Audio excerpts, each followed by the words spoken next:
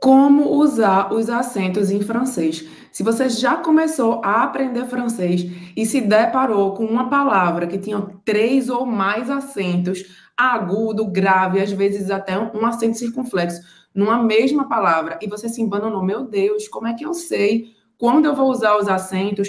Ou, por exemplo, quando você vê uma palavra nova por escrito e se questiona como é que eu vou pronunciar essa palavra com esse tanto de acento. Eu decidi fazer esse vídeo para você, para te mostrar que é possível a gente assimilar e a gente saber usar os acentos em francês sem decoreba. Eu vou te dar aqui exemplos práticos de cada um dos acentos, a gente vai ver também a pronúncia de cada um deles e eu vou te dar algumas dicas também de estudo de como você faz para assimilar e conseguir usar os acentos corretamente sem precisar ficar decorando dezenas de regras de ortografia. C'est parti, allons-y.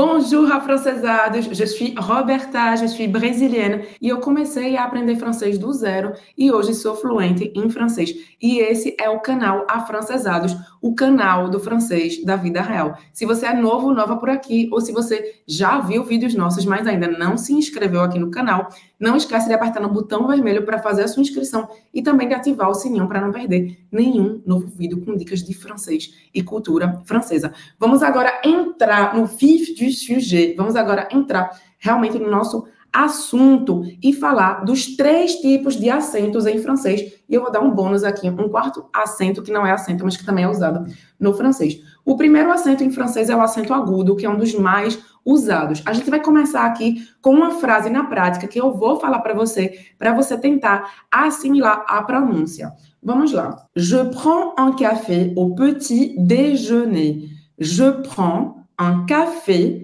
au petit déjeuner eu tomo um café no café da manhã. Então, como é que é a pronúncia desse acento agudo? Café, déjeuner. A gente observa que o acento agudo no francês, diferente do português, tem o som fechado. Então, a gente não vai falar café aberto, a gente vai falar café fechado. Sempre que a gente vê o acento agudo, ele traz esse som mais fechado no francês. Vamos ver um outro exemplo com esse acento. Généralement, je voyage pendant l'été. Généralement, je voyage pendant l'été. Geralmente, eu viajo durante o verão. Eita, Roberta, dois acentos por palavra.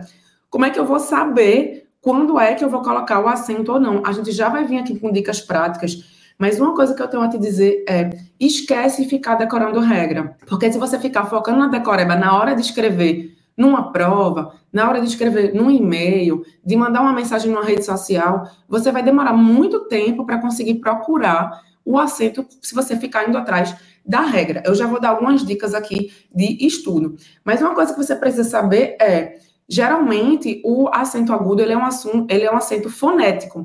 Então, quando você sabe aqui ele se relaciona na pronúncia, você já consegue perceber melhor quando é que ele vai ser usado é, na escrita.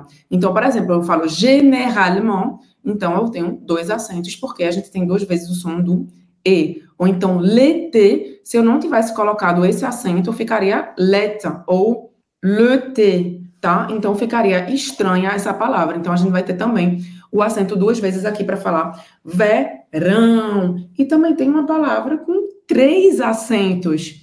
L'été est ma saison préférée. L'été est ma saison préférée. Isso significa o verão é minha estação preferida. E eu queria te lembrar também uma coisa muito importante, é que às vezes a gente fica nessa agonia, a gente fica nessa angústia de querer saber tudo da noite para o dia, de querer acertar tudo da noite para o dia. E aprender francês é você desenvolver habilidades, habilidades essas que são complexas, que são habilidades de comunicação. A gente chama aqui no método afrancesados de cinco habilidades do francês que a gente desenvolve quando a gente aprende a língua, que são falar, entender o francês falado, ler, escrever e pensar em francês. Então são muitas habilidades. A gente não pode esperar que de, em uma semana a gente consiga escrever francês perfeitamente com todos os acentos corretos. É uma coisa que vai tomar certo tempo, que você vai realmente precisar de uma certa imersão para conseguir, de fato, escrever corretamente. Eu, durante muito tempo, errava também.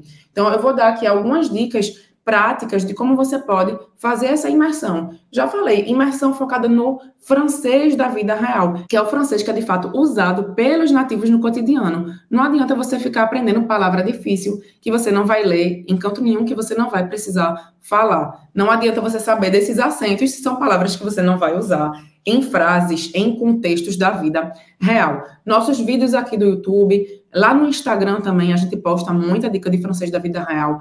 No nosso curso completo, o curso de francês Método Francesados, que vai do zero até o nível avançado de francês, que é a forma mais rápida de você aprender francês, obviamente. Tem todas as dicas para você aprender a escrever francês corretamente também. E, claro, ler em francês. Se você já chegou num certo ponto no seu francês que você consegue ler, por exemplo, um parágrafo, não precisa sentar para ler todo o noticiário do Le Monde, por exemplo, em francês. Bota como meta ler um parágrafo por dia. Isso você já está treinando a sua leitura e mostrando para o seu cérebro como é a escrita dessas palavras com os acentos. E escrever em francês também, desde o início do aprendizado, é uma ótima dica para você assimilar também os acentos em francês. Você pode, por exemplo, quando for escrever a sua agenda, né, o seu, a sua to-do list do dia, você pode escolher colocar um ou dois pontos em francês. E é isso também, se você não souber como escrever aquilo que você precisa, você já procura e já é uma palavra nova que você está assimilando à escrita e provavelmente com acentos, porque tem muitas palavras em francês com acento. E também quando você for escrever no seu telefone no computador, fica atento às correções automáticas. Quando é que ele colocou o acento? De quais palavras você está sempre esquecendo o acento ou colocando o acento errado? E pega depois o seu caderno na munheca mesmo e escreve alguns exemplos com essas palavras que você está com dificuldade de assimilar com acento para você conseguir, pouco a pouco, ir absorvendo a escrita dessa palavra. Vamos lá para o nosso segundo acento do francês, então, que é o acento circunflexo. Disse que esse acento circunflexo, ele indica a ausência de uma letra que geralmente é a letra S, que era escrita e pronunciada no passado, mas que não é mais escrita e pronunciada na língua moderna, e que por isso a gente tirou essa consoante, que geralmente é o S, e colocou o acento circunflexo para mostrar que a gente meio que mudou ali aquela palavra. Alguns exemplos que eu vou dar aqui, você vai perceber que no português a gente usa o S, e no francês não tem mais, e virou acento circunflexo. Por exemplo, l'hôpital est juste derrière la forêt. L'hôpital est juste derrière la forêt. O hospital é logo atrás da floresta. Então, hôpital, hospital. Forêt, floresta. Outro exemplo. Ces pâtes ont un goût bizarre. Ces pâtes ont un goût bizarre. Essas massas, no sentido de macarrão, estão com um gosto estranho. Então, a gente vê pâte para pastas, né, de massa, e para gosto. Então a gente vê que tirou essa letra S no francês. E o acento circunflexo não tem nenhuma dor de cabeça, porque ele não traz alteração de pronúncia na palavra. Ele não é um acento de pronúncia, ele é um acento que indica simplesmente que houve uma mudança na grafia desta palavra. Vamos para o nosso terceiro acento do francês, que é o acento grave.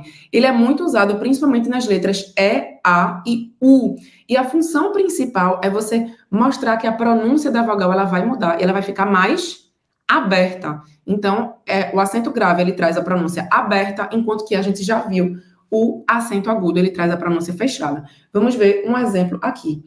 Mon père se lève très tôt. Mon père se lève très tôt. O meu pai se acorda muito cedo. Observe que se a gente não tivesse colocado esse acento grave no père, ficaria peur, que é uma palavra que não existe no francês. Então ele traz esse acento aberto, bem francês. Père, mon père se lève très tôt. Então é très, tá? Presta atenção aqui. Muito em francês é très, não é très. Tem muita gente que faz essa pronúncia errada, fechada. Presta atenção. Você vai sair desse vídeo sabendo falar corretamente très, très aberto. Mon père se lève très tôt. Outro exemplo. Après l'événement, après l'événement, il va faire la grève. Depois do evento, ele vai fazer greve. Greve.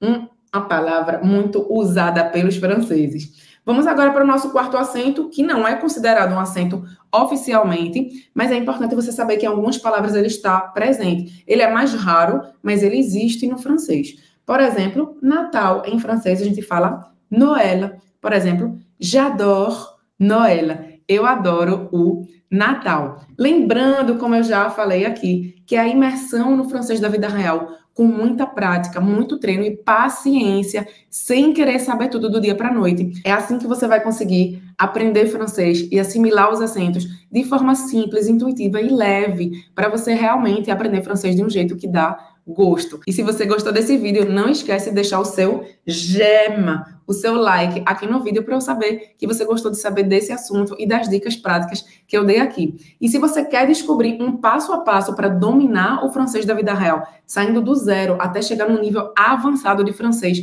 para conseguir falar francês com naturalidade, sem decoreba, basta apertar no izinho ou no link que está aqui na descrição do vídeo para saber tudo sobre o curso de francês Método Afrancesadas. E a gente se vê no próximo vídeo. Salut! À la prochaine!